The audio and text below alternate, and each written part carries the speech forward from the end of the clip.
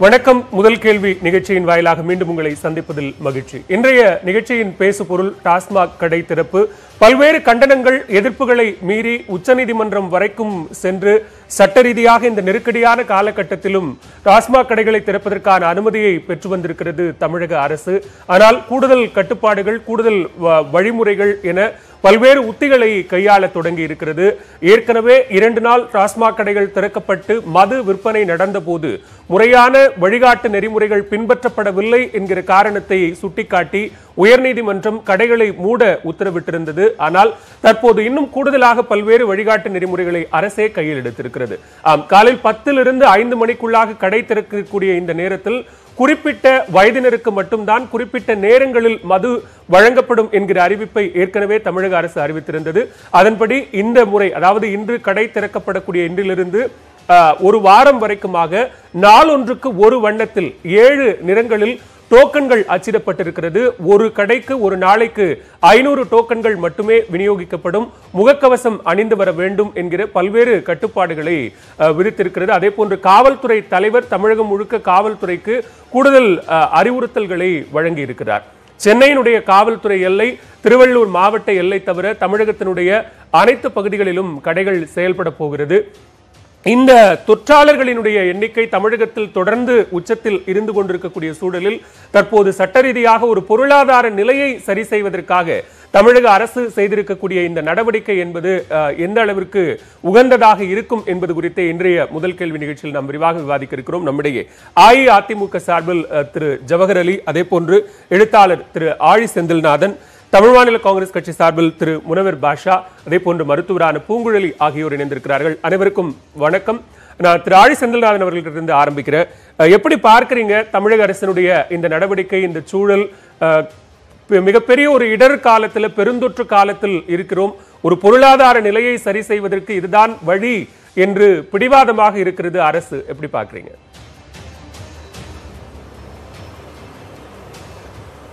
இல்லை நாம் ஒரு பேரிடர் காலத்தில் இருக்கிறோம்னு நீங்களே சொன்னீங்க. உலகம் முழுக்க இந்த நேரத்தில் எல்லா அரசாங்கங்களுடைய கவனமும் எப்படி சம்பாதிக்கணும் அப்படிங்கிற அடிப்படையில் இல்லை. எல்லா அரசாங்கங்களின் கவனமும் இந்த பிரச்சனை இந்த கொரோனாவிலேருந்து நாம் எப்படி தப்பிக்கணும் அப்படிங்கிறது தான் இருக்குது எல்லா விதமான வழக்கமான வாழ்க்கையில் நாம் வந்து எதெல்லாம் வந்து அன்றாட வாழ்க்கையை நாம் நினைக்கிறோமோ அது அத்தனையும் கூட நின்று போய் மக்கள் வந்து தனி மனித இடைவெளியை வந்து பயன்படுத்தி சுகாதாரமான வழிமுறைகளை பயன்படுத்தி இந்த பிரச்சனையிலேருந்து எப்படி தப்பிக்கலாம் அப்படிங்கிறது தான் இந்த உலகத்துடைய ஒட்டுமொத்த கவலையுமா இருக்குது ஆனால் தமிழ்நாடு அரசுக்கு மட்டும்தான் இப்படி ஒரு கவலை இருக்குது இதுவரையில் நாம் அறிந்த எந்த புள்ளி விவரங்கள் அடிப்படையிலும் கூட டாஸ்மாக் மூலமாக வரக்கூடிய வருமானங்கிறது தமிழ்நாட்டின் மிகப்பெரிய வருமானம் அப்படின்னு சொல்ல முடியாது. என்னை பொறுத்தவரையில் இதில் வந்து நிறைய குழப்பங்கள் இருக்குது ஆனால் நிச்சயமாக மக்களை குடிக்க வச்சு அதன் மூலமாக வரக்கூடிய வருமானத்தில் தான் நான் அரசாங்கத்தை நடத்துகிறேங்கிற நிலையில் தான் நாம் இருக்கிறோமா அப்படிங்கிற கேள்வி ஒரு பெரிய கேள்வி. எத்தனையோ விதமான வருமானத்தை பற்றி யோசிக்க வேண்டிய நேரமும் இது கிடையாது. இந்த அரசுக்கு வந்து பணம் இல்லை என்றால் தனக்கு இந்த நிச்சயமாக வர வேண்டிய நியாயப்படி வர வேண்டிய அந்த ஜிஎஸ்டி நிலுவைத் தொகை போன்ற விஷயங்களுக்காக மத்திய அரசாங்கத்தோட மல்லு கட்டியிருக்கணும் ஆக நீங்கள் டாஸ்மாக் திறக்கிறீங்க. அடிப்படையில் என்ன பிரச்சனைன்னா இதுவரையில் தமிழக அரசு செஞ்ச பல செயல்பாடுகளில் ச மக்களை வந்து சாதாரணமாக வந்து தனி மனித இடைவெளி போன்ற விஷயங்களில் உட்படுத்த முடியலங்கிறத நம்ம பார்த்துருக்குறோம். தொடக்கத்திலேருந்தே அதை நம்ம பார்க்குறோம்.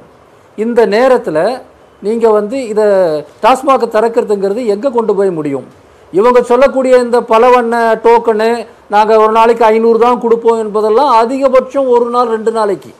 அதன் பிறகு எல்லாம் பழையபடி தான் நடக்கும். ஏன்னா வந்து இந்த டாஸ்மாகை திறக்கணும் அப்படிங்கிற அந்த கொள்கை முடிவுக்கு பின்னாடி அது ஒரு கொள்கை என்றால் அந்த கேவலமான கொள்கை முடிவுக்கு பின்னால் இருப்பது வந்து வியாபாரம் தானே ஒழிய மக்கள் நலன் கிடையாது. எனவே இந்த டோக்கன் ஆதாரம் எடுத்துட்டு வாங்க இது போன்ற விஷயங்கள் எல்லாம் கண் துடைப்பு விஷயமாக தான் நான் பார்க்குறேன். ஒருபோதும் இதை வந்து கடைபிடிக்க மாட்டார்கள் கடைபிடிப்பதை வலியுறுத்தவும் மாட்டார்கள். கல்லா கட்டணுங்கிறத தவிர வேறு எதுவும் அவங்க நோக்கமா இருக்காது. திரு செந்தில்நாதன் நீங்க நீங்க இது பொருளாதார தாக்கத்தை அரசு அப்படியான ஒரு சூழல்ல நீதிமன்றம் வரைக்கும் சென்று அனுமதி வாங்கித்தான் கடையை திறக்கறாங்க. ரெண்டு நாள்ல சராசரியா இருநூற்று தொண்ணூத்தி இரண்டு கோடி ரூபாய் அளவிற்கு மது விற்பனையாகி இருக்கிறது உண்மையிலேயே இப்படி ஒரு பேரிடர் காலத்தில் இருக்கிறோம். அது உண்மைதான். எல்லாரும் இடரில் இருக்கிறார்கள் என்று சொன்னால் இருநூற்று தொண்ணூத்தி ரெண்டு கோடி ரூபாய்க்கு மது விற்பனை ஆகியிருக்காதுல்ல. இல்லை இரநூத்தி இருபத்தி ரெண்டு கோடி ரூபாய்க்கு மது விற்பனை ஆயிருக்கு அப்படிங்கிற நம்முடைய அவலச்சூழலை காட்டுதே ஒழிய அந்த இரநூத்தி இருபத்தி ரெண்டு கோடி ரூபாய் தான் பெரிய பணம்னு கிடையாது. ரெண்டாவது அப்படி வாங்குறது வந்து எவ்வளோ சரியானதுன்னு பார்க்கணும். அதுதான் நான் ரெண்டாவது கருத்தை சொல்ல வந்தேன். என்ன சொல்ல வரேன்னா இது வந்து அரசாங்கத்தின் பார்வையிலேருந்து ஒரு பார்வை இருக்குது ரெண்டாவது பார்வை வந்து ஒரு சாதாரணமாக வேலைக்கு போக முடியாமல் சம்பாதிக்க முடியாமல் இருக்கிற பணத்தை ரெண்டு மாதமாக அடிப்படை செலவுகளுக்கு செலவு பண்ணிட்டு கையில் பணம் இல்லாமல் இருக்கக்கூடிய ப லட்சக்கணக்கான குடும்பங்களில் நீங்கள் வந்து வந்து குடிக்க வாங்கன்னு சொல்லும்போது நீங்கள் என்ன விதமான ஒரு வேலையை நீங்கள் செய்கிறீங்க அந்த குடும்பங்களில் மறுபடியும் என்ன வித பிரச்சனை வரும் நீங்கள் எதிர்பார்த்தீங்க? எதிர்பார்க்குறீங்க? சாதாரண மக்கள் தான் பெரும்பாலும் டாஸ்மாகில் குடிக்கிறாங்க. அப்படி குடிக்கக்கூடியவங்களுடைய வீட்டில் இருக்கக்கூடிய கொஞ்ச நஞ்ச பணத்தையும் நீங்கள் வந்து டாஸ்மாக் மூலமாக மத்திய தமிழக அரசு வந்து கலெக்ட் பண்ணுறது தான் புத்திசாலித்தனமா? அந்த குடும்பங்களில் என்ன விளைவுகள் ஏற்படும்? ப பத்து கடந்த கிட்டத்தட்ட பல வருஷமாக டாஸ்மாகின் கொடுமைகளுக்கு எதிராக தமிழ்நாட்டில் எல்லா பெரிய கட்சிகளும் எல்லா அமைப்புகளும் மக்கள் நல அமைப்புகள் எல்லாம் போராடிட்டு இருக்கிறாங்க. அதனுடைய குடி என்கிற கொடுமை ஒன்று அதனால் குடும்பத்தில் வரக்கூடிய பிரச்சனை ஒன்றுங்கிறதுக்காக பல போராட்டங்கள் நடந்துட்டு இருக்கு நீங்கள் பணம் கையில் இல்லாத நேரத்தில் பணப்புழக்கம் இல்லாத நேரத்தில் சம்பாதிக்க முடியாத நேரத்தில் இருக்கிற மிச்சம் மீதி சேமிப்பை வந்து அடிப்படையான தேவைகளுக்கு பயன்படுத்தக்கூடிய கட்டாயத்தில் இருக்கிற நேரத்தில் பல குடும்பங்களுக்கு அது கூட இல்லாத நேரத்தில் நீங்க வந்து இந்த நேரத்தில் பணத்தை பிடுங்குறீங்க அப்படின்னா அதாவது மக்கள் வந்து குடிக்க அடிமையாக இருக்கிறார்கள். அதாவது குடிக்கக்கூடிய மக்களை சொல்ல வரேன். குடிக்கக்கூடிய மக்கள் குடிக்க அடிமையாக இருக்கிறார்கள். அந்த அடிக்ஷனை பயன்படுத்தி நான் இரநூறு கோடி சம்பாதிப்பேன் முந்நூறு கோடி சந்த சம்பாதிப்பேன்னு சொன்னா இதை விட ஒரு கேவலமான ஒரு நடைமுறை இருக்க முடியும்? இந்த கேள்வி நான் அப்படியே திரு என்னென்ன ஜவஹர் அலி சொல்றீங்க? கிட்ட முன்வைக்கிறேன். தொடர்ந்து பேசலாம். உங்களுடைய. முதற்கட்ட இவ்வளவு மெனக்கடல்கள் உச்சநீதிமன்றம் வரைக்கும் சென்று தமிழக அரசினுடைய உரிமையை மீட்டு வந்திருக்கிறீர்கள். அஹ், திரு செந்தில்நாதன் நிறைய கேள்விகளை முன் வச்சிருக்கிறார். பொருளாதாரத்தை சரி செய்வதற்கு இதுதான் அரசுக்கு கிடைத்திருக்கக்கூடிய வாய்ப்பா? இப்படியான ஒரு சூழல்ல மக்களிடம் இருக்கிற பணங்களை டாஸ்மாகில் கொண்டு வந்து கொடுக்க வேண்டிய ஒரு கட்டாய சூழலை உருவாக்கி இருக்கிறீர்களா அப்படிங்கிற நிறைய கேள்விகளை முன்வைக்கிறார். நிறைய மெனக்கெட்டு இருக்கு இந்த விஷயத்துக்காக. ரேஷன் கடைகளில் பொருட்கள் கொடுப்பதற்கு கூட இந்த அளவுக்கு மெனக்கெடாத ஒரு சூழல்ல டாஸ்மாக்ல ஏழு நாளைக்கு ஏழு கலர்ல டோக்கன் அடிச்சு கொடுத்து இவ்வளவு கூடுதலா கவுண்டர்களை எல்லாம் திறந்து டோக்கன் விநியோகம் செய்து போலீஸ் பாதுகாப்போட டாஸ்மாக் விற்பனை என்கிற ஒரு நிலைக்கு அரசு வந்திருக்கிறது. பதில். அதாவது ஏதோ இன்னைக்குதான் புதுசா ஓபன் பண்ற மாதிரி என்ற ஆளி செந்தில்நாதன் சொல்றாரு. வெளியில இருந்து பார்ப்பதற்கு வெளியில இருந்து சொல்வதற்கு எல்லாமே ஈஸி தான். ஆனா அரசை நடத்துறவங்களுக்கு தான் அந்த கஷ்டங்கள் தெரியும். கொரோனாவுக்காக மொத்த செலவில் தமிழக அரசு தான் எல்லோரும் உங்களுக்கு தெரிஞ்ச விஷயம். இது ஒரு கசப்பான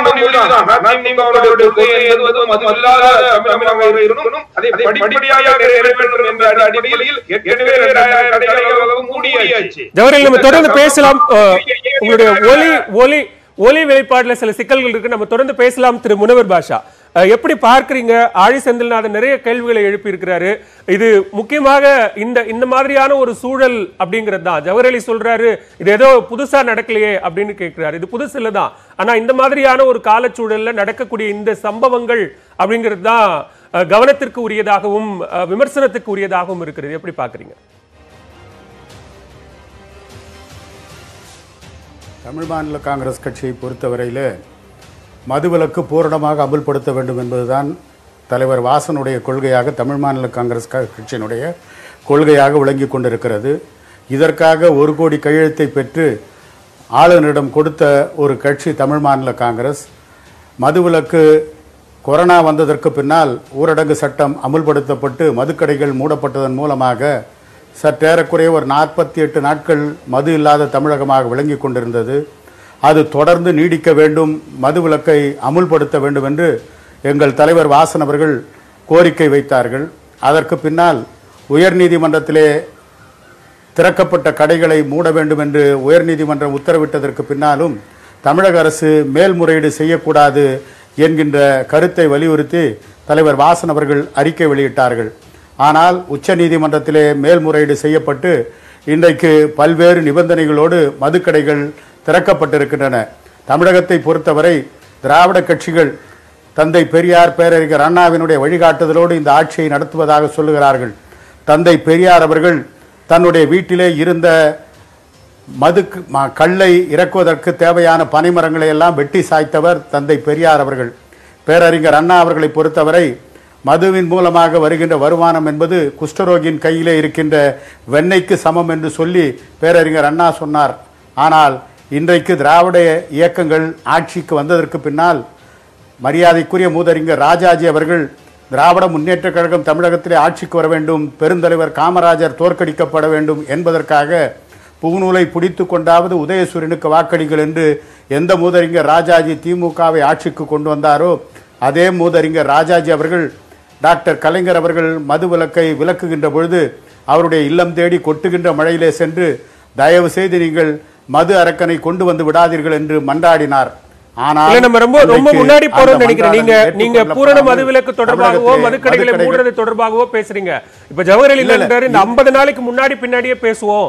ஐம்பது நாளைக்கு முன்னால் இருந்த சூழல் கூட இப்போ இல்ல. இந்த சூழல் முன்னாடி பார்த்த அதே டாஸ்மாக் கடைகள் அதே விற்பனை தானே. இந்த சூழலை ஏன் வந்து ரொம்ப பூராகாரப்படுத்துறீங்கன்னு கேக்குறாரு.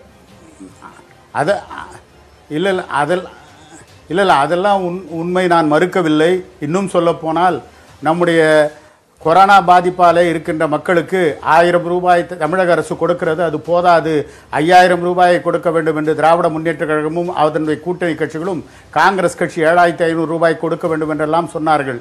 ஆனால் ஆயிரம் ரூபாய் கொடுக்கின்ற பொழுதே மதுக்கடைகள் இரண்டு நாள் திறந்து வைத்த பொழுதே ரெண்டாயிரத்து இரநூத்தி தொண்ணூற்றி ரெண்டு கோடி ரூபாய்க்கு விற்பனை நடக்கிறது என்று சொன்னால் மக்கள் மத்தியிலே பஞ்சம் பசி பட்டினி இருக்கிறது என்று சொல்லுகின்ற சூழ்நிலையிலே கூட மதுவை தேடி ஓடக்கூடிய மக்களாக இன்றைக்கு தமிழகத்து மக்கள் மாறி இருக்கிறார்கள் ஒரு வகையிலே ஜவஹர் அலி சொன்னதைப் போல அதிமுகவை பொறுத்தவரை மதுவிலக்கு கொள்கையிலே நம்பிக்கையுள்ள கட்சிதான். ஆனால் படிப்படியாக மதுவிலக்கை அமுல்படுத்துவோம். மதுக்கடைகளை குறைத்து வந்து கடைசியிலே மது இல்லா தமிழகத்தை உருவாக்கும் என்ற கொள்கையை சொல்லி அவர்கள் ஆட்சிக்கு வந்திருக்கிறார்கள். இல்ல திரு முனைவர் பாஷா சொல்றது எப்படி எடுத்துக்கிறதுன்னு தெரியல. ஆயிரம் ரூபாய் கொடுத்ததுனால எல்லாரும் ஆயிரம் ரூபாய் எடுத்துக்கிட்டு மதுக்கடைக்கு வந்துட்டாங்க. இதே அஞ்சாயிரம் ஏழாயிரத்தி ஐநூறு கொடுத்திருந்தாலும் எடுத்துக்கிட்டு அவங்க மதுக்கடைக்கு தான் வந்திருப்பாங்க அப்படின்னு புரிஞ்சுக்கிறதா? இல்ல தமிழகத்தில் ஐயா- பசி இந்த பட்டியலே இல்ல ஐயாயிரம் அந்த ஐயாயிரமே அப்படின்னு இல்ல இந்த இல்ல இல்ல தேவை தேவையான அளவுக்கு தமிழக அரசு உணவுப் பொருட்களை இலவசமாக ரேஷன் கடைகள் மூலமாக வழங்கி இருக்கிறார்கள் இன்னும் சொல்ல போனால் ரேஷன் கார்டு இல்லை என்று சொன்னாலும் ஆதார் கார்டு இருந்தாலே அவர்களுக்கு ஆயிரம் ரூபாயும் அரிசி பருப்பு போன்றவையும் இலவசமாக ரேஷன் கடைகள் மூலமாக வழங்கப்பட்டிருக்கிறது. அப்படி இருக்கின்ற பொழுது மக்கள் மத்தியிலே பணம் இல்லை என்று சொன்னால் எப்படி மதுக்கடைகளுக்கு வருவதற்கான பணம் அவரிடம் இருந்திருக்கிறது? ரெண்டாய் இரநூத்தி தொண்ணூற்றி ரெண்டு கோடி ரூபாய்க்கான வியாபாரம் மதுக்கடைகள் மூலமாக நடக்கிறது என்று சொன்னால் மக்கள் மத்தியிலே ஆயிரம் ரூபாய் என்பது சர்வசாதாரணமாக இருக்கிறது அவர்களுக்கு. எனவேதான் மதுக்கடைகளை தேடி குடிக்கக்கூடிய அளவுக்கு அவர்களிடம் பொருளாதாரம் இருக்கிறது என்பதைத்தான் நாம் உணர்ந்தாக வேண்டும். என்னை பொறுத்தவரை இன்றைக்கு ஏதோ தமிழ்நாட்டிலே மட்டும்தான் மதுக்கடைகள் திறந்து விட்டார்கள். மற்ற மாநிலங்களிலெல்லாம் மதுக்கடைகள் மூடி கிடக்கிறது என்று சொல்வதற்கில்லை. எல்லா மாநிலங்களிலேயும் மதுக்கடைகள் திறந்திருக்கிறது. ஆழி செந்தில்நாதன் சொன்னார் உண்மைதான் கொரோனாவிலே இருந்து மக்களை பாதுகாக்க வேண்டும் என்ற விழிப்புணர்வோடு இன்னும் சொல்ல போனால் இந்த நோயை பொறுத்தவரை தமிழகத்திலே குறிப்பாக இந்தியாவிலே நோய் எதிர்ப்பு சக்தி என்பது இந்திய மக்களுக்கு அதிகமாகவே இருக்கிறது. எனவேதான் உலக நாடுகளோடு ஒப்பிடுகின்ற பொழுது இந்தியாவினுடைய மரணம் என்பது மிகவும் குறைவாக இருக்கிறது. இன்னும் சொல்ல போனால் குணமாகின்றவர்களுடைய எண்ணிக்கை அதிகமாக இருக்கிறது. எனவே இந்த கொரோனா பாதிப்பிலிருந்து மக்களை காப்பாற்ற வேண்டும் என்ற நோக்கத்தோடு தமிழக அரசு செயல்படுகிறது. அதே நேரத்தில் இந்த மாநிலத்தினுடைய பொருளாதாரத்தை சரி செய்ய வேண்டும். எத்தனையோ வழி இருக்கிறது என்பது வேறு.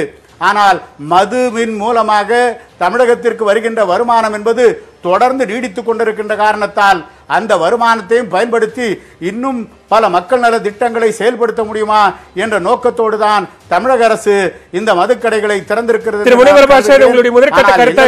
தமிழ்நாட்டுல வறுமையே இல்லாத ஒரு சூழல் இருக்கு. பொருளாதார. நிலைமை சரியா இருக்கு. பணப்புழக்கம் மக்களிடம் இருக்கு அப்படின்னு சொல்லியிருக்கீங்க. நம்ம பேசலாம். நான் மருத்துவர் பூங்குழலியிடம் அஹ், கேட்க விரும்புறேன் அஹ், படிப்படியாக அதிகரித்து வந்திருக்கிறோம். தமிழக அளவில் பத்தாயிரத்தை தாண்டி இருக்கிறோம் கொரோனா தொற்றுல.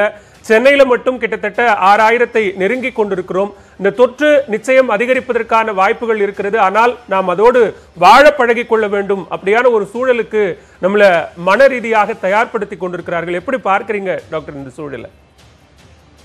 முக்கியமா நம்ம இந்த வாழ பழ கொரோனாவோட வாழ பழகிக்கணும் அப்படின்னு சொல்றத வந்து நிறைய வேற வேற வகையா இன்டர்பிரேட் பண்ணிட்டு இருக்காங்க. ஸோ இது முக்கியமா நம்ம இதுல என்ன நம்ம தெரிஞ்சுக்கணும் அப்படின்னா முதல்ல கொரோனாங்கிறது வந்து இப்போதைக்கு இதற்கான மருந்துகள் எதுவும் நம்ம கிட்ட இல்ல. தடுப்பு மருந்துகளோ இல்ல ஒரு வேக்சினோ நம்ம கிட்ட இல்ல. ஸோ ஒரு உலக சுகாதார நிறுவனம் மற்றவங்களும் என்ன சொல்றாங்கன்னா ஒரு தடுப்பு மருந்துங்கிறது நமக்கு கிடைக்கவே வந்து இந்த வருட இறுதி ஆகலாம் இல்ல அடுத்த வருடமாவது ஆகலாம். ஸோ அப்படி ஒரு தடுப்பு மருந்து கிடைத்த கிடைத்த பிறகும் கூட இப்ப நம்ம நமக்கு தெரியும் போலியோக்கே பல வருஷமா தடுப்பு மருந்து இருக்கு. யூனிவர்சல் போலியோ வேக்சினேஷன் ப்ரோக்ராம்ல வந்து நம்ம கொடுத்துக்கிட்டே இருக்கோம். ஆனா கூட போலியோ ஒழிக்கிறதுக்கு வந்து நமக்கு இவ்வளவு வருஷம் ஆயிருக்கு. ஸோ ஒரு தடுப்பு மருந்து வந்துட்டாலும் கூட அதை எல்லா மக்களுக்கும் கொண்டு சேர்க்கிற ஒரு விஷயம் இருக்கு. இப்ப இந்த தொற்று நம்ம தெரி இது- வரைக்கும் இந்த தொற்றை பத்தி நமக்கு தெரிஞ்ச சில தகவல்கள் அடிப்படையில இந்த தொற்று வந்து இப்போதைக்கு மருந்து இல்லாத காலத்தினால பூரணமா வந்து நம்மளால இப்போதைக்கு குணப்படுத்திட முடியாது. இதோட பரவலை வந்து அந்த ஸ்ப்ரெட்னு சொல்றத வந்து நம்ம கட்டுக்குள்ள கொண்டு வர முடியும். அதுதான் வந்து பெ- எல்லா நாடுகளும் வந்து பெரிய அளவுல அதுக்கு தான் முயற்சி பண்ணிக்கிட்டே இருக்காங்க. இப்ப தமிழ்நாடு பாத்தீங்கன்னா நமக்கே தெரியும் முதல்ல வந்து எண்கள் நல்லா குறைஞ்சிட்டே வந்து அப்புறம் வந்து கிட்டத்தட்ட வெகு குறைவான தொற்று நபர்களே வந்து பாதிக்கப்பட்டு வந்துட்டே இருந்தாங்க. இப்ப திருப்பி அந்த கோயம்பேடு சந்தை தொடர்பான அந்த கிளஸ்டர் வரப்ப திருப்பி வந்து இப்ப எண்ணிக்கைகள் கொஞ்சம் அதிகமா இருக்கு. இப்ப ஒரு ரெண்டு மூணு நாளா கொஞ்சம் ஸ்டெபிலைஸ் ஆயிருக்கு எண்ணிக்கைகள். அதனால இது வந்து ஆனா முக்கியமா நம்ம தமிழ்நாட்டை பொறுத்த வரைக்கும் பார்க்க வேண்டியது இறப்பு சதவீதம் ரொம்ப குறைவா இருக்கு. ஏன்னா வந்து இந்த ஹை ரிஸ்க் குரூப் வந்து இன்னும் இன்ஃபெக்ட் அந்த குரூப்புக்கு ரொம்ப அதிகமா பரவல் வராததுனால. தொற்று பாதிக்கப்பட்டவர்கள் முக்கியமா பெரும்பான்மையின வந்து அந்த அறுபது வயதுக்கு உட்பட்டவர்களா தான் இருக்காங்க. அதனாலதான் அந்த இறப்பு சதவீதம்ங்கிறது வந்து இதுல ரொம்ப குறைவாவே இது வரைக்கும் தமிழ்நாட்டுல இருந்துட்டே இருக்கு. கொரோனாவோட ஏன் வாழ பழகிக்கணும்னா இதற்கான தடுப்பு மருந்து வந்து ஒரு மொத்த பாப்புலேஷனுக்கோ ஒரு மொத்த நாடுக்கோ அது கிடைக்க கிடைக்கிற வரையும். இல்லை இந்த தொற்று தானாகவே தீவிரம் குறைந்து ஏன்னா நிறைய நாடுகள்ல இப்ப நம்ம பார்த்துட்டோம். ஊஹான் ஒரு பெரிய உதாரணம் எடுத்துக்கிட்டீங்கன்னா ஒரு ரெண்டு மாசம் லாக்டவுனுக்கு அப்புறம் அவங்க திறந்து இப்ப திருப்பி அவங்களுக்கு கேசஸ் வர ஆரம்பிச்சிருக்கு. ஸோ அந்த மாதிரி ஒரு சூழ்நிலையில அவங்க வந்து இப்ப திருப்பி மொத்த பாப்புலேஷனை டெஸ்ட் பண்ண ரெடி ஆயிட்டு இருக்காங்க. உள்ளுக்குள்ள இருந்து இது வந்து வெளிநாட்டுல இருந்து வந்த கேசஸ் கூட கிடையாது. ஸோ இந்த மாதிரி வாய்ப்புகள் இருக்கு. எல்லா இடத்துலயுமே நம்ம தொடர்ந்து அதுதான் பார்க்கிறோம். சென்னையில கூட இப்ப வந்தது வந்து செகண்ட் வேவா இருக்கலாம் அப்படின்னு கூட சொல்றாங்க. ஸோ இந்த மாதிரி ஒரு சூழ்நிலை இருக்க. ஒரு முதல் தடவை வந்த வீச்சிலையும் அந்த அந்த அளவு தீவிரமாவும் திருப்பி இழப்புகளோட தொற்று வராதுன்னா கூட தொடர்ந்து சின்ன சின்ன இந்த காலப்பருவ மாற்றங்களுக்கு ஏற்பட வந்துட்டே இருக்க வாய்ப்பு இருக்கு. அதனாலதான் இத இதோட இந்த இப்போதைக்கு நமக்கு இதை எதிர்த்து கையில இருக்க ஆயுதங்கள் வந்து இப்ப இருக்க அந்த தனி மனித அந்த டிஸ்டன்சிங் அந்த பிசிக்கல் டிஸ்டன்சிங் இந்த கை அதான் டாக்டர் நீங்க சொல்ற அந்த. ஆயுதம் அந்த தனிமனித இடைவெளி அப்படிங்கிற அந்த ஆயுதத்தை நம்ம ஊரடங்கை படிப்படியாக தளர்த்தப்படும் போது தேர்வுகள் நடக்கும் போது மற்ற விஷயங்கள் வந்து செயல்பட தொடங்கும் போது அதை தொடர்ந்து கடைபிடிக்க முடியுமா?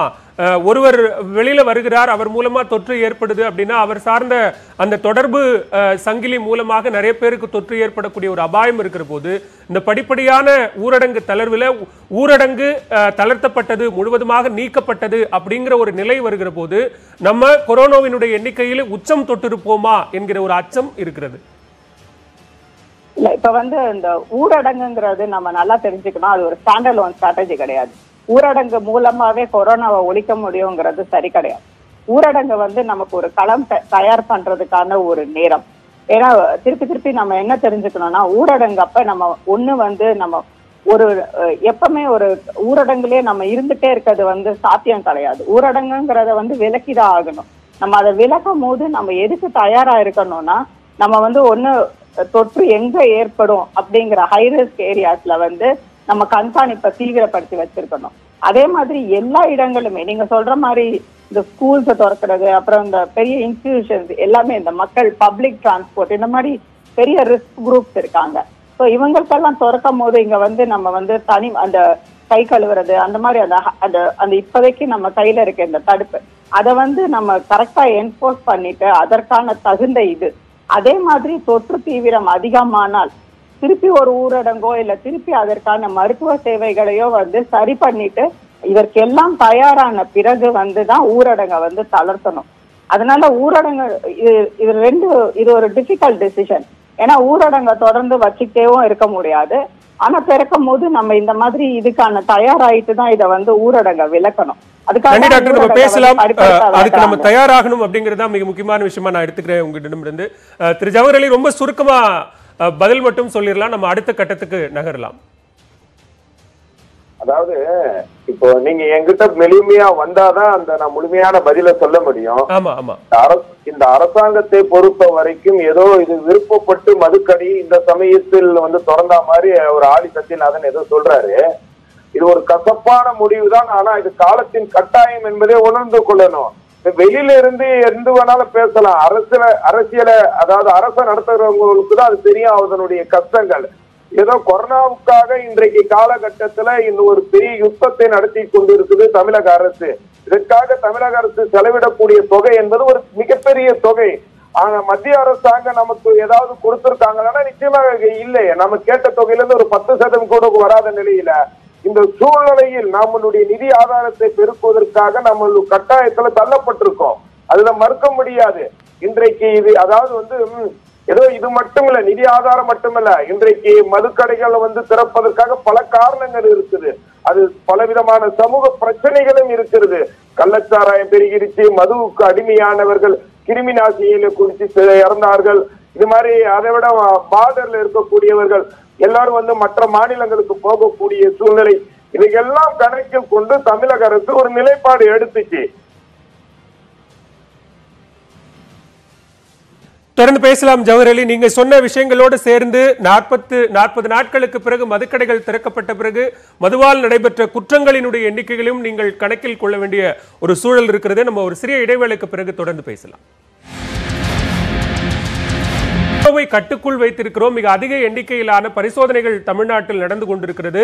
அதன் காரணமாகத்தான் தொற்று எண்ணிக்கை உயர்வு என்கிற ஒரு விஷயம் தமிழகத்தில் இருக்கிறது அப்படின்னு சொல்லியிருக்கிறாங்க. ஸோ படிப்படியான தளர்வு தேவைதான் ஊரடங்கு மட்டுமே ஒரு தீர்வு இல்லை அப்படின்னு மருத்துவர்கள் உள்ளிட்ட பல நிபுணர்களும் சொல்லக்கூடிய இந்த நேரத்தில் அரசு சரியான திசை நோக்கித்தானே பயணித்துக் கொண்டிருக்கிறது.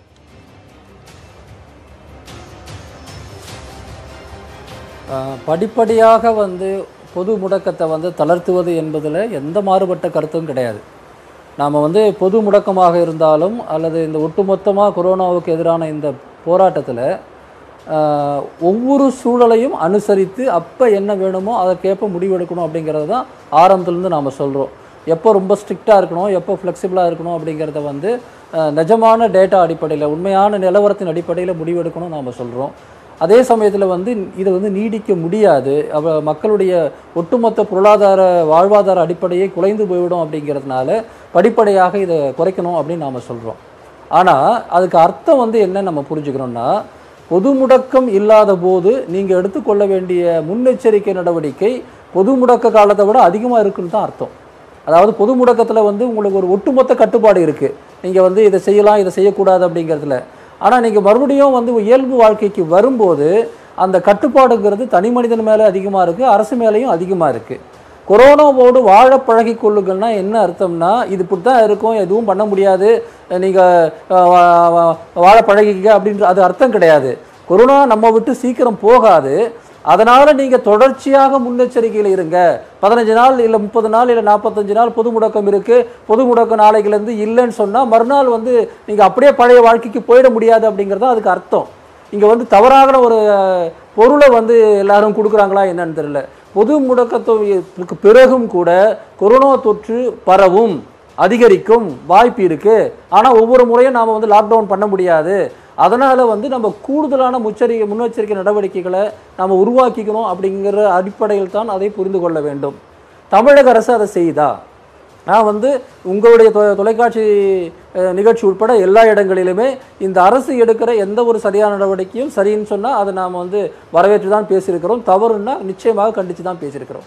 இப்போ நம்ம கண் முன்னாடி இருக்கக்கூடிய பிரச்சனை வந்து இந்த சமீபத்தில் நடந்த இதில் கோயம்பேடு அந்த பிரச்சனை நீங்கள் எடுத்துக்கோங்க. அது முன்னுதாரணம் இல்லாத பிரச்சனை நீங்கள் நினைக்கிறீங்களா? முதல் முறை அதே கோயம்பேடு பஸ் ஸ்டாண்டில் நாம் வந்து திடீர் பொது முடக்கத்தை அறிவித்து லட்சக்கணக்கான மக்கள் இங்கிருந்து போக வேண்டிய சூழல் ஏற்பட்ட போது அந்த பிரச்சனையை பற்றி நம்ம பேசியிருக்கிறோம். அதே கோயம்பேட்டில் பக்கத்தில் இருபது அடி இந்த பக்கம் வந்தீங்கன்னா கோயம்பேடு காய்கறி கடை. அங்கே வந்து மீண்டும் நீங்கள் அதே பிரச்சனையை அரங்கேற்றுவீங்க. அதாவது திட்டமிடல் சரியில்லாமல் அல்லது முன்னெச்சரிக்கை வந்து சரியில்லாமல் நீங்கள் ஒரு வேலையை செய்கிறீங்கன்னா அப்புறம் அப்புறம் என்ன செய்வாங்க? இன்றைக்கி அதனால தானே ஒரு மறுபடியும் இன்னொரு அவுட்பர்ஸ்ட் வந்து வந்திருக்கு. நம்முடைய சுகாதாரத்துறை நம்முடைய அரசாங்கம் இது செய்யக்கூடிய எந்த நல்ல விஷயத்தையும் நம்ம தவறுன்னு சொல்லலை. குறிப்பாக நம்ம சுகாதாரத்துறை வந்து வலுவாக இருந்ததுனால தான் நமக்கு வந்து இப்போ டெஸ்டிங் அதிகரிச்சிருக்கு. மரண விகிதம் என்பது மிக மிக குறைவாக இருக்குது இதற்காக இந்த அரசாங்கத்தை வந்து பாராட்டுவதில் எந்த தப்புமே கிடையாது. ஆனால் இதை மட்டும் வச்சுக்கிட்டு நீங்கள் மறுபடியும் இந்த அரசாங்கம் கொரோனாவோட வாழ பழகி கொண்டிருக்குதான்னு பார்த்தா இல்லை. நீங்கள் என்னைக்கு வந்து முடியும் மறுபடியும் பழையபடி எல்லாம் செய்யலான்ற நிலைக்கு கொண்டு வந்திருக்கிறீங்க. டாஸ்மாக் விவகாரமும் அதைத்தான் காட்டுது. அதாவது வந்து கிட்டத்தட்ட ஒரு மாதத்துக்கு மேலே வந்து அந்த அடிக்ஷனில் இருந்தவங்க கூட வந்து குடியை மறந்து இருந்த நேரத்தில் பொருளாதாரம்னு ஒரு பொய்யான காரணத்தை சொல்லி நீங்கள் மறுபடியும் அதை வந்து நீங்கள் கொண்டு வரீங்க. மன்னிக்கணும்.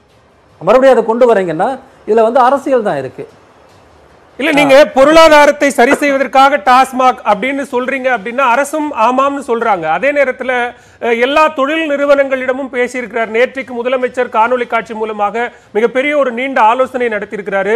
தொழில் நிறுவனங்கள் படிப்படியா தங்க தொழிலை தொடங்கலாம். கூடுதலாக கடன் தேவைப்பட்டால் அதை கொடுப்பதற்கு தயாராக இருக்கிறது. அதை நிதி ஒதுக்கி இருக்கிறோம் அப்படிங்கிற மாதிரியான அறிவிப்புகளையும் சொல்ற ஒரு பேலன்சிங் அப்படிங்கிறது இருந்துகிட்டு தானே இருக்கு அரசு கிட்ட அதெல்லாம் அதெல்லாம் வரவேற்க வேண்டிய விஷயம் தான் இல்லை இல்லை அதெல்லாம் வரவேற்க வேண்டிய விஷயம் தான் நிச்சயமாக அரசாங்கம் செய்ய வேண்டியது அதைத்தான். நேற்று பார்த்தீங்கன்னா இன்னும் நிறைய விஷயங்களை வந்து முதல்வர் பேசியிருக்கிறார். அதாவது அதாவது கண்மூடித்தனமாக இந்த அரசாங்கத்தை நாங்கள் எதிர்க்கலைங்க. என்றைக்கு இந்த அரசு ஒரு விஷயத்தை சரியாக செய்தோ அது சரியாக இருக்கிற பட்சத்தில் நம்ம வரவேற்க தான் செய்கிறோம் இதில் வந்து ஜவஹர் அலி மாதிரி வந்து இந்த உள்நோக்கம் கற்பிக்கக்கூடிய எண்ணம் வந்து எனக்கு ஒன்றுமே கிடையாது. நம்ம ஏதோ ஒன்றுமே வெளியில் இருக்கிறதுனால ஒன்றுமே தெரியாதவங்கன்ற மாதிரிலாம் பேசிகிட்டு இருக்கிறாரு.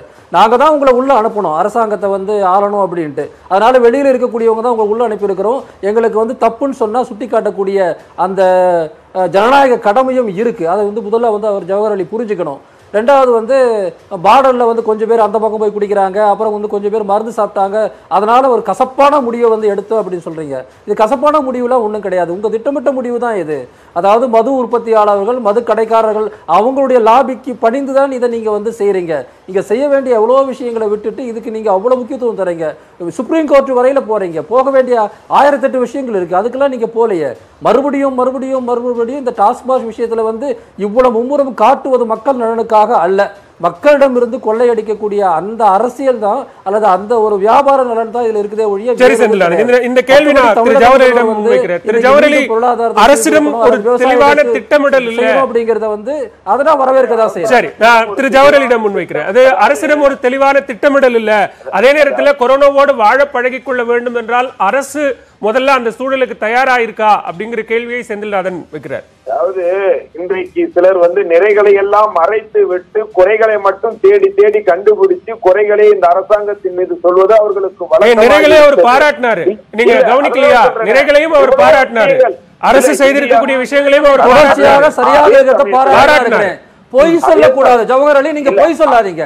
இல்ல நான் போய் ஜவஹர் அலி நீங்க பொய் சொல்லாதீங்க. நிறை இருந்தால் சரி என்று நான் பேசியிருக்கிறேன். சார் ஒரு நிமிஷம். பொய் சொல்லாதீங்க.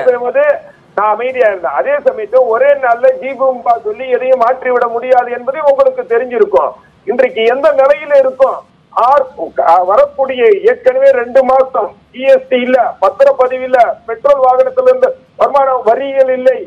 அதாவது நிதிகள் அதாவது வந்து வரும் கம்பெனிகள் மூலம் வரக்கூடிய வருவாய் இல்லை. எதுவுமே இல்லாத சூழ்நிலையில பல மாநிலங்கள் வந்து மாச சம்பளத்தை கூட பாதியா கட் பண்ணிட்டாங்க. ஆனா நம்ம அதெல்லாம் செய்யல.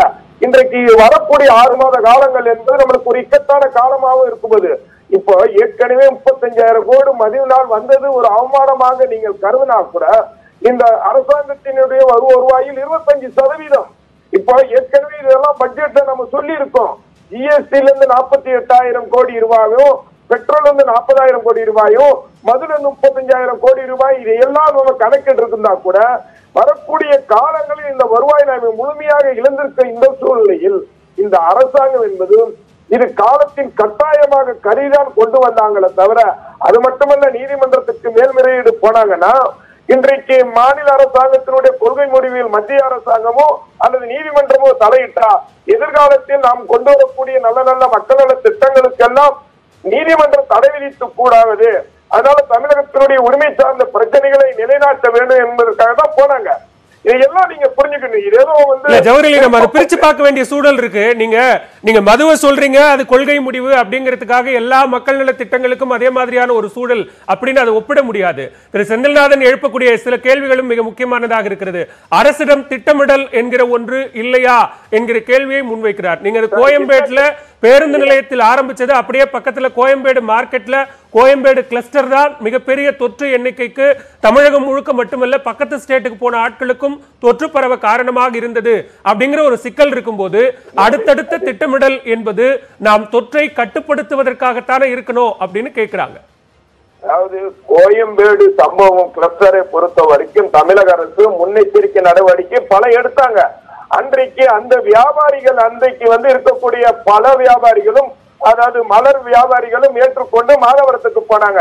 ஆனா காய்கறி அங்காடி வியாபாரிகள் ஒத்துழைப்பு கொடுக்காதனால் ஏற்பட்ட அந்த ஒரு ஒரு கிளஸ்டர் தான் அது. அதற்கு தான் முதலமைச்சர் தெல்ல தெளிவான கருத்தை சொன்னாரு. இப்ப மத்த மாநிலங்கள்லாம் நீங்க நீங்க தமிழ்நாட்டுல பாருங்க. கிட்டத்தட்ட மூணு லட்சம் டெஸ்ட் பண்ணியிருக்கோம். மத்த மாநிலங்கள் குஜராத் எடுத்துங்க. தினம் ரெண்டாயிரத்தி ஐநூறு டெஸ்ட் பண்றாங்க. அதுல பாசிட்டிவ் பாத்தீங்கன்னா மூவாயிரத்தி முன்னூத்தி எண்பது நானூறு வருது. நம்ம ஒரு நாளைக்கு கிட்டத்தட்ட பதினஞ்சாயிரம் டெஸ்ட் பண்றோம். அந்த பதினஞ்சாயிரம் டெஸ்ட்ல ஐநூறு இப்ப குறைஞ்சிக்கிட்டு தான் வருது. அந்த கிளஸ்டர் எல்லாம் யார் யார் அதெல்லாம் டெஸ்ட் பண்ணி அவர்கள் எல்லாம் கண்டுபிடிக்கப்பட்டு இன்றைக்கு டெஸ்ட் பண்ணி இன்றைக்கு கூடிய விரைவில் ம- அதாவது கொரோனாவில் இருந்து இல்லாத ஒரு மாநிலமாக தமிழ்நாட்டை கொண்டு வர போறோம். நாம இப்ப இருக்கக்கூடிய சூழ்நிலையில் இந்த மக்களுக்கு தேவையான அத்தியாவசியமான பொருட்களும் கிடைக்கணும். அதற்காக அத்தியாவசியமான செயல்களும் இன்றைக்கு அவர்கள் வாழ்வாதாரத்துக்கு தேவையான விஷயங்கள் செய்யணும். இன்னும் சொல்ல போனா மத்திய அரசாங்கத்திடமிருந்து நாம வந்து முதற்கட்டமாக முதல் கட்டமாக ஆயிரம் கோடி ரூபாய் கேட்டோம். அவர்கள் வந்து நமக்கு மட்டும் இல்ல எந்த மாநிலத்துக்கும் கொடுக்கல. ஆனால் தமிழக அரசு மூவாயிரத்தி எட்நூத்தி இருபது கோடி ரூபாய் முதல் கட்டம் இருக்கிறது இப்ப அது மட்டும் இல்லாம எட்டாயிரம் கோடி ரூபாயை அதாவது நம்மளுடைய தமிழக அரசுடைய பாண்டுகளை வச்சு அதிக வட்டிக்கு கடன் வாங்கி இருக்கணும் நீங்க ஒரு விஷயத்தை கவனிக்கணும். ஒரு அரசாங்கம் என்பது எந்த அளவுக்கு நிதி சுமை இருந்தாலும் ஏற்றுக்கொள்ள முடியும் என்ற நிலைகள் எல்லாம் இல்லை. முன்பு எல்லாம் லாட்டரியில ஒரு வருமானம் வந்தது. அதையெல்லாம் வேண்டாம் என்று அதை நீக்கியதுதான் இந்த அம்மாவினுடைய அரசாங்கம். பான்பராக் இது போன்ற விஷயங்கள் எல்லாம் வேண்டாண்டது அதே சமயம் மதுவில் இருந்த வருமானம் எல்லாம் தனியாருக்கு போய்கிட்டு இருந்ததை எல்லாம் தடுத்து அது அரசாங்கத்தை கொண்டு வந்து மக்களுக்கான திட்டங்களை கொடுத்தது இந்த அரசாங்கம் தான். இப்ப சூழ்நிலை மத்திய அரசாங்கத்திட்ட நம்ம ஒரு கோரிக்கை வைத்தோம். இல்ல திரு ஜவஹர்லால் எல்லாமே தனித்தனியான விஷயம் எல்லாமே தனித்தனியான விஷயம் அதை எல்லாத்தையும் நம்ம போட்டு குழப்பிக்க வேண்டாம்னு நினைக்கிறேன். மத்திய அரசிடம் நிதி இல்ல இல்ல. பொருளாதார நிலையை சரி செய்வதற்காக எடுத்திருக்கக்கூடிய அரசினுடைய நடவடிக்கைகள் என்பது வேறு.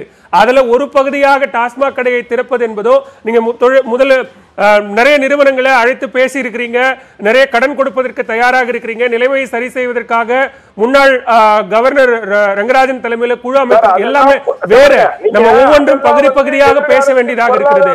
ஒரு திட்டமிடல் ஒரு திட்டமிடல் அப்படிங்கிறது தொற்று இதுவரைக்கும் பத்தாயிரத்தை நம்ம கிராஸ் பண்ணியிருக்கிறோம் அப்படின்னா இனியும் தொற்று பாதிக்காத வகையில் அதை பாதுகாக்க வேண்டியது மக்களை பாதுகாக்க வேண்டியது கடமை அப்படிங்கிற வகையில தான் கேள்வி முன்வைக்கப்படுது அரசிடம். இல்ல இல்ல நீங்க தொற்று நாம அதாவது எந்தெந்த வகையில இன்றைக்கு பாத்தீங்கன்னா நம்ம அதுக்காக தான் அதிகமான டெஸ்ட்களை நம்ம பண்ணிக்கிட்டு வரோம் நம்ம அளவுக்கு இந்தியாவுல எந்த மாநிலமும் பண்ணல. நம்ம அதிகமான பிசிஆர் கருவிகளை இறக்குமதி செஞ்சிருக்கோம். மருத்துவ உபகரணங்கள் தேவையான எல்லாம் நம்ம கொண்டு வந்து ரெடியா வச்சிருக்கோம். இன்றைக்கு சூழ்நிலை தொற்று அதிகமாக்கானதுக்கு மூணு விதமான கிளஸ்டர்கள். ஒன்னு வெளிநாட்டில இருந்து வந்தது ரெண்டு டெல்லியில இருந்து வந்ததன் மூலமாக இன்றைக்கு கோயம்பேடு மூலமாக. இவர்கள் எல்லாம் ட்ரேஸ் பண்ணிப்பட்டு இவங்க எல்லாம் வந்து கண்டுபிடிக்கப்பட்டு இன்றைக்கு குவாரண்டைன்ல வச்சிருக்காங்க. இது வந்து எதிர்வர காலங்கள்ல நம்மளுக்கு குறையும் என்ற நம்பிக்கை. ஆனால் மக்களுடைய வாழ்வாதாரத்துக்கு நிலைநாட்டக்கூடிய பொறுப்பு இந்த அரசாங்கத்துக்கு இருக்கா இல்லையா?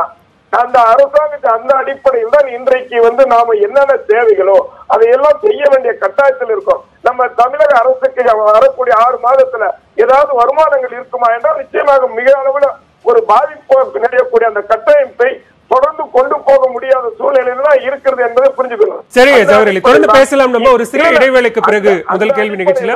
இக்கட்டான காலகட்டத்துல இதை கொண்டு வந்திருக்கோம் புரிஞ்சுக்கணும் சரிங்க. நீங்க ஒரு சிறிய இடைவேளைக்கு பிறகு தொடர்ந்து பேசலாம். சரியான பாதையில் கொரோனா விவகாரத்தில் மிக தொடக்கத்திலிருந்தே தற்போது வரைக்கும் சரியான பாதையில் சரியான திட்டமிடலோடு தான் அரசு பயணித்துக் கொண்டிருக்கிறதா?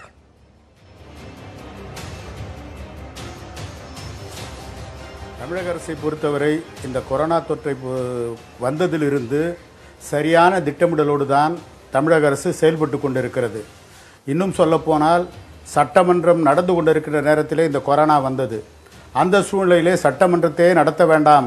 தயவுசெய்து சட்டமன்றத்தை முடித்து விடுங்கள் என்று எதிர்க்கட்சி தலைவரும் துணைத் தலைவரும் கேட்டபொழுது கூட நாட்டு மக்கள் மத்தியிலே ஒரு நம்பிக்கை வர வேண்டும். எனவே நாங்கள் சட்டமன்றத்தை நடத்துவோம் என்று சொன்னார்கள். அதற்கு பிறகு இன்று வரை முதலமைச்சராக இருந்தாலும் சரி அல்லது சுகாதாரத்துறை அமைச்சராக இருந்தாலும் சரி அல்லது சுகாதாரத்துறை செயலாளராக இருந்தாலும் சரி சுற்றி சுற்றி வந்து கொரோனாவிலிருந்து மக்களை காப்பாற்றுவதற்கு தேவையான முன்னெச்சரிக்கை நடவடிக்கைகளை தொடர்ந்து எடுத்துக்கொண்டிருக்கிறார்கள் இன்னும் சொல்லப்போனால் நம்முடைய நண்பர் ஆழி செந்தில்நாதன் சொன்னார் திட்டமிடல் இல்லை என்று.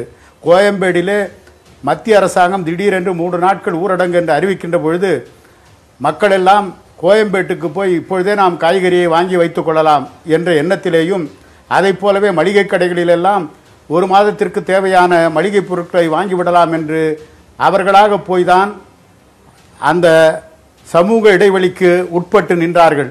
ஆனால் கோயம்பேட்டை பொறுத்தவரை அங்கே பணியாற்றி கொண்டிருக்கவர்கள் அங்கேயே தங்கி பணியாற்றிய காரணத்தால் அவர்கள் மூலமாக தொற்று பரவியது. ஆனால் அவரவர்கள் சொந்த ஊருக்கு சென்று மருத்துவமனையிலே தங்களை சோதனைக்கு ஆட்படுத்தி கொண்டு இன்றைக்கு அவர்களுக்கெல்லாம் கொரோனா நெகட்டிவ் என்று வெளியே வந்திருக்கிறார்கள். அது அரியலூராக இருந்தாலும் சரி கடலூராக இருந்தாலும் சரி புதுக்கோட்டையாக இருந்தாலும் சரி பெரம்பலூராக இருந்தாலும் சரி. ஆக கொரோனாவை பொறுத்தவரை இந்த மக்களை காப்பாற்றுகின்ற அனைத்து நடவடிக்கைகளையும் தமிழக அரசு தீவிரமாக எடுத்துக்கொண்டிருக்கிறது எனவேதான் இந்தியாவிலேயே கொரோனாவிலே உயிரிழந்தவர்களுடைய எண்ணிக்கை தமிழகத்திலே தான் குறைவாக இருக்கிறது. ஆனால் அதே நேரத்தில் மக்கள் மத்தியிலே ஆழி செந்தில்நாதன் சொன்னதைப் போல மக்கள் மத்தியிலே கொரோனாவோடு வாழ வேண்டும் என்று சொன்னால் இந்த ஊரடங்கு காலத்தில் எந்த அளவுக்கு கட்டுப்பாட்டோடு நாம் வாழ்ந்தோமோ அதே கட்டுப்பாடு ஊரடங்கு தளர்த்தப்பட்டதற்கு பின்னாலும் அந்த முகக்கவசம் அலைவது சமூக இடைவெளி கைகளை கழுவது போன்ற அந்த நடவடிக்கைகள் தொடர்ந்து நீடிக்க வேண்டும். தமிழகத்தை பொறுத்தவரை இது புதியதும் அல்ல புதுமையானதும் அல்ல ஏற்கனவே தமிழகத்து மக்கள் எல்லாம் வீட்டுக்குள்ளே செல்வதற்கு முன்னால் கை கால் முகம் கழுவிவிட்டுத்தான் வீட்டுக்குள் சென்றார்கள். அந்த நிலை மீண்டும் தொடரக்கூடிய ஒரு சூழ்நிலை உருவாகி இருக்கிறது இந்தியாவிலேயே கொரோனா வருவதிலிருந்து மக்களை காப்பாற்றுவதற்கு திட்டமிட்டு நடவடிக்கை எடுத்த ஒரு மாநிலம் என்று சொன்னால் தமிழகமும் தமிழக முதலமைச்சரும் தான் என்று இந்திய அரசாங்கமே பாராட்டக்கூடிய அளவுக்கு திறமையான முறையிலே தமிழக அரசு செயல்பட்டு கொண்டிருக்கிறது நம்ம ரெண்டாவது குற்றம் குறை என்று ரெண்டாவது இடத்துல இல்லாமல் எதுவுமே இருக்க இந்திய. அளவுல சில ரெண்டாவது இடத்துல இருக்கிறோம். தொற்று எண்ணிக்கை அதிகமாக இருக்கிறது. நீங்கள் சொன்ன மாதிரியான ஒரு திட்டமிடல்கள் ஒரு சில இடங்கள்ல தோல்வி அடைந்தது அப்படின்னு செந்தில்நாதன் சொன்னாரு. படிப்படியான ஊரடங்கு தளர்வுகள் இருந்தாலும் சொல்லக்கூடிய கட்டுப்பாடுகளை பின்பற்றாததன் காரணமாகத்தான் ஏற்கனவே ரெண்டு நாள் டாஸ்மாக் திறந்த போது அதை உடனே மூடணும்னு அரசாங்கம் சொன்னது. அப்படியான ஒரு சூழல் அதை உறுதிப்படுத்த வேண்டிய அந்த கட்டுப்பாட்டை உறுதிப்படுத்த வேண்டிய பொறுப்பு தமிழக அரசுக்கு இருக்கு அதெல்லாம் அதுதான் தமிழக அரசு வந்து நீங்கள் சொன்ன மாதிரி அந்த மதுக்கடைகளை திறந்தவுடன் இரண்டு நாட்கள் அவர்கள் நடந்து கொண்ட விதத்தை வைத்துக்கொண்டு இப்பொழுது உச்சநீதிமன்றம் சில கட்டுப்பாடுகளை விதித்து ஒரு நாளைக்கு ஐநூறு பேர் தான் என்று கணக்கு அதற்குரிய அந்த டோக்கன்களை கொடுத்து தான் மது விற்பனை செய்ய இருக்கிறார்கள். அது மட்டுமல்ல அந்த கட்டுப்பாட்டை பொதுமக்களும் உணர துவங்கி இருக்கிறார்கள். ஏனென்று சொன்னால் இந்த நோய் வராமல் தன்னை பாதுகாத்து கொள்ள வேண்டும் என்ற உணர்வு ஒவ்வொரு தமிழ் மக்களுக்கும் இருக்கிறது. எனவே அந்த ஊரடங்கு உத்தரவு காலத்திலே எந்த முறைகளை கடைபிடித்தார்களோ அதே முறைகளை கடைபிடிப்பார்கள். இன்னும் சொல்ல போனால் நீங்கள் சொன்னதைப் போல இந்தியாவிலேயே இரண்டாவது மாநிலமாக தமிழகம் கொரோனா தொற்றில் இருக்கிறது என்று சொல்வது உண்மை என்றாலும் படிப்படியாக அது குறைந்து கொண்டிருக்கிறது. இன்னும் வர வர நாட்கள் இனிமேல் கொரோனா இல்லாத மாநிலமாக தமிழகம் உருவாகக்கூடிய அளவுக்கு தமிழக அரசனுடைய செயல்பாடுகள் வேகமாகவும் விவேகமாகவும் இருக்கும் என்ற நம்பிக்கை எங்களுக்கு இருக்கிறது. நனிமுனைவர் பாஷா டாக்டர் பூங்குழலி. எப்படி பார்க்கறீங்க? தற்போது எடுத்து வரக்கூடிய நடவடிக்கைகள் இது எல்லாமே சரியான திசையை நோக்கித்தான் நாம் போய்கொண்டிருக்கிறோமா நீங்கள் நீங்க ஏற்கனவே சொன்ன மாதிரி இந்த எண்ணிக்கைகள் அதிகரிக்கும் அதிகரிப்பதற்கான வாய்ப்பு இருக்கிறது. ஆனா அதே நேரத்துல நம்ம படிப்படியான தளர்வு என்கிற வ- வரும் பட்சத்துல என்ன ஒரு அச்சம் வந்தது கடந்த கடந்த வாரத்துல கடைகள் திறக்கப்படும் போது அப்படின்னா கோயம்பேடு கிளஸ்டர் மாதிரி டாஸ்மாக் கிளஸ்டர்னு ஒன்று உருவாகிடுமோ என்கிற ஒரு அச்சம் இருந்தது. அந்த அளவுக்கு கூட்டம் இருந்தது. அந்த மாதிரியான ஒரு சூழல் வந்துவிடக்கூடாது என்கிற அந்த ஒரு எச்சரிக்கை உணர்வோடு தானே நம்ம இதை அணுக வேண்டியிருக்கு. இப்ப வரைக்கும் வந்து நம்ம வந்து இ- இப்ப வரைக்கும் கவர்மெண்டோட ரெஸ்பான்ஸை வந்து நம்ம ரெண்டு ஸ்டேஜா பார்க்கணும். ஒண்ணு வந்து before the Koyambedu cluster and after the Koyambedu cluster Koyambedu cluster வர்றதுக்கு முன்னாடி வந்து ரொம்ப சிறப்பா தான் செயல்பட்டுட்டு இருந்தாங்க. அதுல வந்து எந்த இ- இப்ப வரைக்கும் நமக்கு நம்மளோட எண்ணிக்கைகள் கொஞ்சம் அதிகமாகி அப்புறம் இப்ப திருப்பி கொஞ்சம் மட்டுப்பட ஆரம்பிச்சு குறையுதுன்னு சொல்ல முடியாது. மட்டுப்பட ஆரம்பிச்சிருந்தா கூட இன்னும் எண்ணிக்கைகள் நம்ம பீக்கை தாண்டிட்டோமாங்கிற கேள்வி வந்து நமக்கு இன்னும் வரல. ஏன்னா இப்ப வந்து தொடர்ந்து இப்ப சொல்ற மாடல்ஸ் ப்ரெடிக்ஷன்ஸ் எல்லாம் என்ன சொல்றாங்க? ஜூன் வரைக்கும் இல்ல ஜூன் இறுதி வரைக்கும் கூட கொஞ்சம் எண்ணிக்கைகள் இப்படி மேலும் கீழுமா போயிட்டே இருக்கலான்னு. ஸோ இது ஒரு விஷயம். கோயம்பேடு வந்து கோயம்பேடு வந்து ஒரு ஹை ரிஸ்க் ஏரியா இதை வந்து நம்ம முதல்ல மேப் பண்ண தவறிட்டோங்கிறது வந்து ஓரளவுக்கு உண்மைதான் அவங்க எல்லாரும் சொல்றது. ஏன்னா கோயம்பேடு போயிட்டு வந்தவங்க எல்லாருக்குமே தெரியும். கோயம்பேடு எப்பேற்பட்ட ஒரு சூழல்ல அங்க பணிகள் நடக்குது. எவ்வளவு பேர் அங்க இருக்காங்கங்கிறது. ஸோ இந்த கோயம்பேடு இப்ப அது சார்ந்த ஒரு பெரிய வேவ் மாதிரி அது ஒரு செகண்ட் வேவ் வருது இப்ப அதை நம்ம வந்து ம- அது சென்னையை மட்டும் இல்ல முன்ன வந்து சில சென்னை தாண்டி பல அருகில் இருக்க பல மாவட்டங்களுக்கு கூட பரவுற அளவுக்கு இப்ப இந்த கோயம்பேடு கிளஸ்டர் வந்து பிரச்சனை ஆகி இது இப்ப திருப்பி கண்ட்ரோல்ல திருப்பி முழு வீச்சுல ஒரு முயற்சிகளை எடுக்க வேண்டியிருக்கு. ஸோ இப்ப நம்ம ஊரடங்கை தளர்த்த ஆரம்பிக்கிறோம். இதுல ரெண்டு சிக்கல்கள் இருக்கு. ஒண்ணு வந்து இந்த டாஸ்மார்க். எல்லாரும் சொல்ற மாதிரி. டாஸ்மார்க்ல அன்னைக்கு முந்தி அடிச்ச கூட்டம் வந்து யாருக்குமே இது வந்து ஒரு விஷயம் வந்து அந்த கூட்டமும் அது சம்பந்தமான தொற்று. மத்தபடி இவங்க திடீர்னு இப்படி ஒரு கூட்டமே மது இல்லாம இருந்துட்டு மது குடிக்கிறனால இதனால வரப்போற விளைவுகள் தொந்தரவுகள் நோய் தொற்றுகள் அதை வந்து ஒரு ஏற்கனவே ஒரு ஸ்ட்ரெயின்ல இருக்க ஒரு மருத்துவ அமைப்பு இதை எப்படி தாக்கு பிடிக்க போகுதுங்கிறது. இது தவறவும் நம்ம வந்து இந்த ஸ்கூல் திறக்க எக்ஸாம்ஸ் அனௌன்ஸ் பண்ணியிருக்க இந்த முக்கியமான காலகட்டத்துல இந்த தொற்று எண்ணிக்கையில நம்ம ஒரு முக்கியமா ஒண்ணு பார்க்கணும். இந்த இன்ஃபெக்ஷன் ஆரம்பிச்சப்ப என்ன சொன்னாங்கன்னா குழந்தைகளுக்கும் இள வயதினருக்கும் ஒரு பதினாறு வயசுக்கு உட்பட்டவங்களுக்கு இந்த தொற்று வருவதற்கான வாய்ப்பு ரொம்ப பெருசா இல்லைன்னு சொன்னாங்க. ஆனா வந்து இப்ப சமீப கால ஆராய்ச்சிகள்ல என்ன தெரிஞ்சிருக்குன்னா இவங்களுக்குமே வந்து சம அளவு வாய்ப்பு தொற்று வருவதற்கும் தொற்று தீவிரமாகிறதுக்கும் வந்து கொஞ்சம் வாய்ப்புகள் அதிகமாவே இருக்குங்கிறத வந்து சமீப ஆராய்ச்சிகள் சொல்லுது. இப்ப சமீபத்திய தமிழ்நாடு எண்களை பாத்தீங்கன்னா குழந்தைகள் தொற்று வர்றது வந்து கொஞ்சம் அதிகமாகிட்டே இருக்கு. ஸோ நம்ம இதெல்லாம் வந்து கொஞ்சம் கிரிட்டிக்கல் அசஸ்மெண்ட்டா பார்க்கணும்.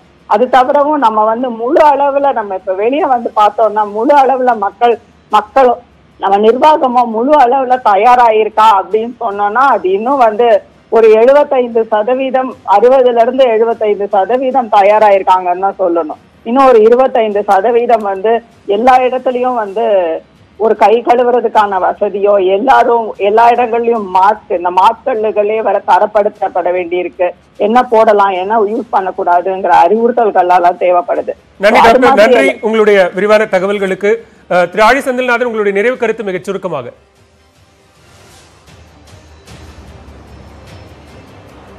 இல்லை ஒன்றும் இல்லைங்க. இந்த அரசாங்கம் தனக்கு வர வேண்டிய பணத்தை மத்திய அரசுக்கிட்டேருந்து கேட்டு வாங்க முடியல. அதற்கான ஒரு முதுகெலும்பு இந்த அரசாங்கத்துக்கிட்ட இல்லை. பார்த்தா மற்ற மாநில அரசாங்கங்களுக்கும் பணம் வரலையே அப்படின்னு அதுக்கு ஜவஹர் அலி விளக்கம் சொல்லுவார். அப்படி தங்களுக்கு தேவையான பணத்தை தங்களுடைய பணத்தை அதாவது நிதி உதவி கிடையாது தங்களுடைய பணத்தை மத்திய அரசுக்கிட்டேருந்து வாங்க முடியாத இந்த அரசு அரசு கஜானாவை நிரப்புறதுக்கு தன்னுடைய சொந்த குடிமக்களுடைய பாக்கெட்டில் கை வைக்கக்கூடிய அவலமான சூழல் தான் இந்த நிலைமை. இதை என்னதான் நீங்கள் சுற்றி வளர்ச்சி பேசினாலும் இதுக்கு பொருளாதார காரணங்களை கற்பித்தாலும் கூட இதை விட ஒரு மோசமான ஒரு திட்டமிடல் நான் சொல்கிறது வந்து வெறும் கொரோனா திட்டமிடலை மட்டும் சொல்ல பொருளாதார திட்டமிடலையும் சேர்த்து சொல்கிறேன் உங்களுக்கு பொருளாதார திட்டமிடல் இல்லை. ஒரு நாட்டினுடைய உண்மையான உற்பத்தியை வளர்த்து எப்படி வந்து நிதியை வந்து ஒழுங்குபடுத்தணுங்கிறதுல தொடர்ச்சியாக கோட்டை விட்டு வந்திருக்கிறீங்க. அதனால தான் இன்றைக்கி இந்த நிலைமை வந்திருக்கு. அவர் ஜவஹர்லி பேசும்போது கூட நாங்கள் லாட்டரி டிக்கெட்டை விட்டுட்டோம் நாங்கள் பான்பராக கூட ஏற்றுக்கல அப்படின்னு சொல்லும் போதெல்லாம் ஒரு அரசு வந்து தன்னுடைய வருமானத்துக்கு லாட்டரி டிக்கெட்டையும் பான்பராக்கையும் மதுவையும் நம்பி தான் இருக்குது அப்படிங்கிறது எனக்கு தெரிய வருது. மக்கள் அத்தனை பேர் தெரிஞ்சிட்டு இருப்பாங்க.